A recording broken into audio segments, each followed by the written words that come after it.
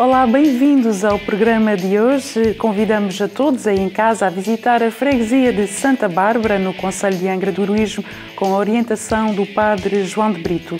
São os lugares mágicos da nossa ruralidade.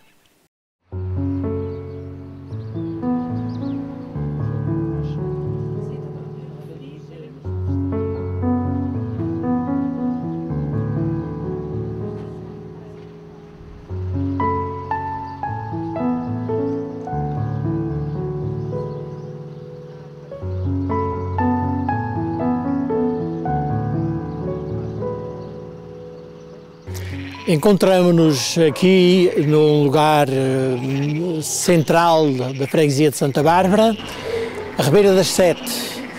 Eh, quando se deu o povoamento da ilha, eh, os primeiros povoadores procuraram lugares, lugares onde, onde houvesse água e esta zona da ilha, a zona ocidental, que é mais recente na formação geológica da mesma ilha, não é muito abundante em água mas quando chove, uh, algumas ribeiras correm com abundância, aguentam alguns dias a correr, como é o caso desta ribeira chamada a Ribeira das Sete.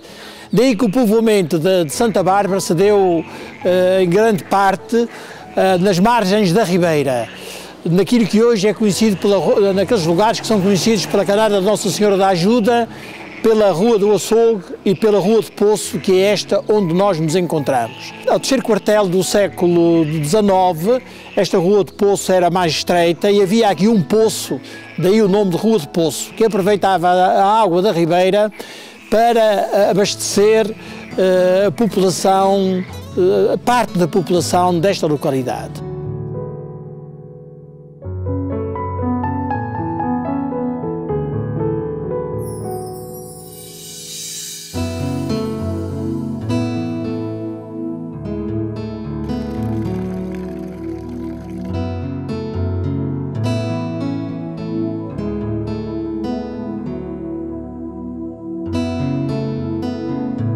Dos melhoramentos que foram feitos desde 1868 até 1903, 1904, Uh, são uh, iniciativa, ou pelo menos têm grande, grande interesse ou grande amor do padre João Lourenço Rocha por esta comunidade, que se dedicou muito a ela e que uh, fez com que ela progredisse bastante em vários aspectos, não é? Um dos quais é o abastecimento de água potável a esta localidade com a construção de um reservatório Uh, nos finais do século XIX, uh, 1878, salvo erro, na, no sopé da Serra de Santa Bárbara, reservatório esse que recolhe as águas que vinham da nascente da caldeira.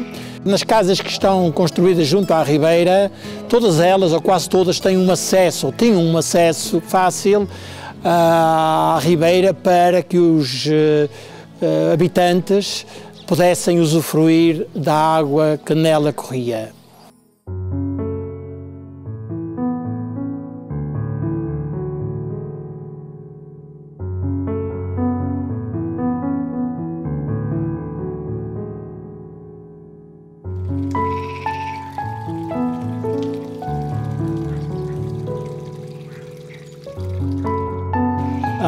Ponte eh, da Ribeira das Sete, há dois, dois vãos, dois, dois arcos, digamos assim. Uh, a parte mais antiga, que foi construída em 1873, é feita com pedra, o arco é um arco abatido. Recentemente, quando alargaram a estrada, acrescentaram em betão, tanto para um lado como para o outro, uma outra parte que nós vemos em betão. Uh, como disse há momentos, esta ribeira corre, é a ribeira que mais corre na, na localidade e uh, ontem choveu um pouco, não muito, e ainda há um pouquinho de água a escorrer pela, pela ribeira. Quando chove com abundância, a ribeira aguenta dois, três dias a correr uh, com um caudal razoável que permitia outrora as pessoas poderem usufruir da água, não só para Uh, o gado, para a lavagem da roupa, como também uh, para as várias azenhas que havia uh, no, no, percurso da Ribeira nas suas margens.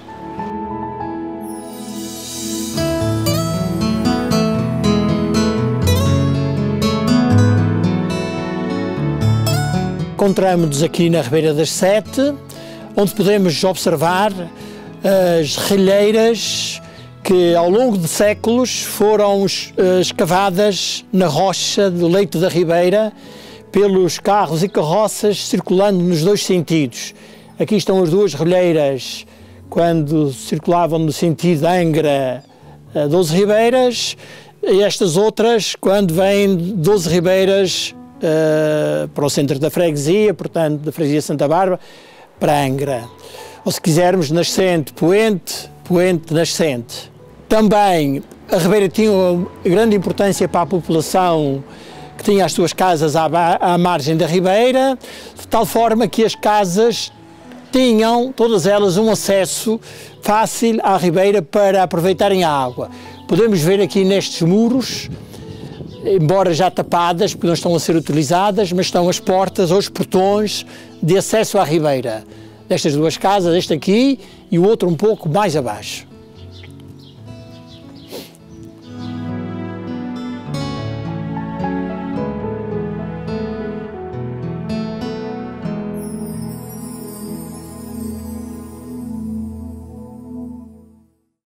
O Centro Cultural e de Congressos de Angra do Heroísmo vai acolher o Festival de Música de Unborn Fest nos dias 3 e 4 de abril, a partir das 21h30. A entrada será gratuita e aberta ao público em geral. O cartaz conta com a atuação de seis bandas musicais.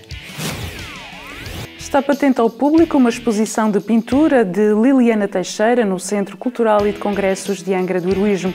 Ao todo, são 20 quadros que refletem a ideia de obra de arte para esta artista natural dos Estados Unidos da América e residente na vila de São Sebastião. É bom saber que este é o canal da sua preferência. Levamos os Açores até si, sempre com as melhores imagens. Confira todo o nosso trabalho em azorestv.com e meu canal 124432. Voltamos amanhã. Fique bem.